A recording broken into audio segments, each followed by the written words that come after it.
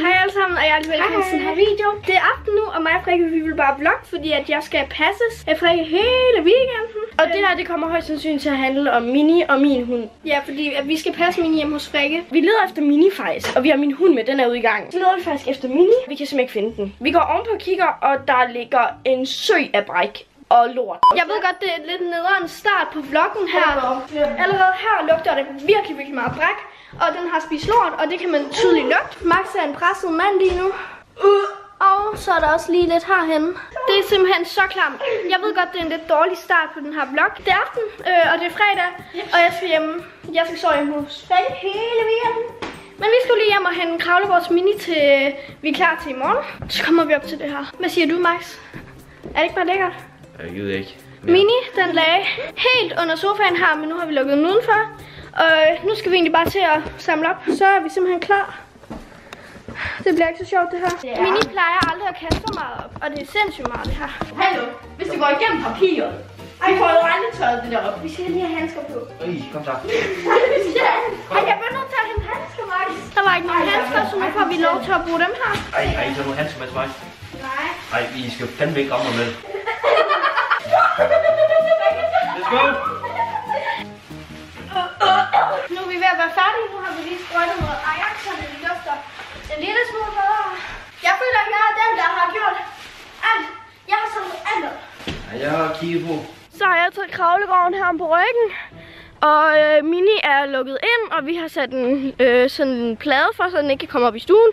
Vi skal, Og vi skal hjem til Frikke nu. hjem til jeg mig. Malte! Har- Malte løber. Vi har lige sat ind på vores computer og set noget ind på Viaplay. Øhm, men I kan lige få lov til at se, hvad min hund laver. Det tyder til, at han ligger og sover. Mugi! Kis, kis. Er det bare til? I morgen der øh, er mig og Frederik alene hjemme hele aften, så øh, der skal vi lave mad i øh, køkkenet. Det er jo ikke så godt. Godmorgen! Det er lørdag i dag. Yep. Klokken er halv ti. Og så skal vi passe Mini herhjemme Yay! med Malte. Skal du så også ses med Mini igen i dag? Og nu får jeg lige sådan en outfit for today her. Jeg har jeans på, og så har jeg sådan en her trøje på. Og der er det Frikkes outfit for today. Sådan en uh, kjole for name it, og nogle jeans også.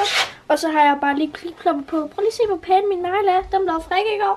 Øhm, så jeg tror, at øh, mig og Frikke, vi kan tage sikkert til Haderslev med, med Lars og lige få, få købt nogle ting. Og så når vi kommer hjem, så er det ved at være på tide, at øh, vi skal hente Mini, og så skal den passes. Og så har vi lige fået smasket sådan en her kravlegård til Mini. Hvis de nu skulle gå amok, og så med sådan en tæppe her. Og den skal Mini over i, hvis den bliver lidt aggressiv. Den har allerede været lidt aggressiv, det kan man se der. Nu har jeg fået ret mit hår, fået øreringe i, i og smykker og det resten af det hele. Nu øh, mangler jeg bare bestiller, og så tror jeg, vi skal smutte. Ja, og nu skal vi bare shoppe af mad. Jeg er ikke sådan super meget vant til at bruge det her kamera, og specielt ikke med, specielt ikke med den her fod. Øh, der, jeg kan lige vise den bagefter. Der er sådan en øh, fod på, som er virkelig irriterende, som jeg ikke rigtig... Ja. Så det, hvis der lige russer lidt rundt, så er det altså fordi, at øh, den her, den er meget, meget forvirrende. Men ser jeg ikke bare mega, mega sej ud med mine solbriller? Frederik og jeg, vi lige kom hjem fra Havsløv. Vi fik ikke lige filmet så meget, men det var bare fordi, vi lige gik rundt. Undskyld. Vi, øh, vi fik lige hurtigt øh, handlet lidt ind, og lige sådan lidt... Frederik, hun får alle mulige klumper op af sin hals. Det er lige... Øh. Men nu er vi simpelthen på vej hen og hente Minse. Så har vi lige hentet Mini, og øh, det går egentlig fint. De øh, går bare sammen her, og Selvfølgelig sådan. Mini gået lige lidt lige her i starten. Altså, de blev selvfølgelig lige lidt aggressivt på hinanden, men ikke sådan voldsomt. Mini sidder simpelthen herinde i kravlegården. Lige at få en godbid. Og Malte sidder her. Også får en godbid. Hvad laver du, Mini? Hvad laver du? Vi har lige sat noget vand herhen i Minis kravlegård. Og Mini den løber egentlig bare rundt og udforsker det hele lidt. Mini har aldrig prøvet at være herhen før. Så de klarer det egentlig så fint. Ej, hold da op. Hej, Mugi. Hej, Mugi. Mine ting kan bare godt lide at lege.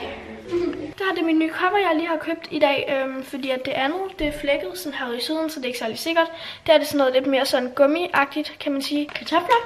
Og så skal vi have dit sådan nogle laksespinat noget. Avocado. Avocado. Til ved siden af. Øhm, nu skal vi egentlig bare til at skrælle alle de her kartofler.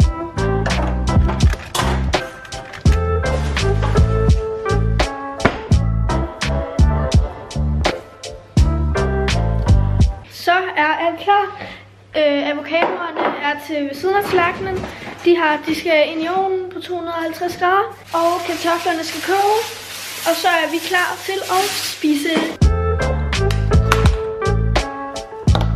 Mini ligger simpelthen her i øh, Maltes kurv. Den har simpelthen lige nakket Maltes kurv.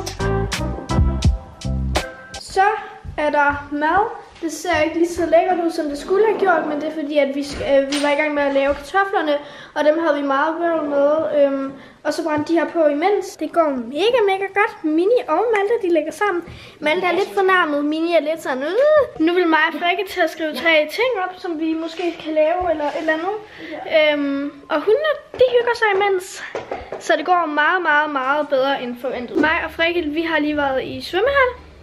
Og øh, det har vi været i hvad? Hvor lang tid? Tre timer næsten. Og øh, nu tænker vi egentlig bare, at vi vil afslutte den her video, fordi at øh, det, er i dag, det er søndag, så øh, nu skal vi egentlig bare slappe af. Og det er jo egentlig ikke så spændende for jer at se.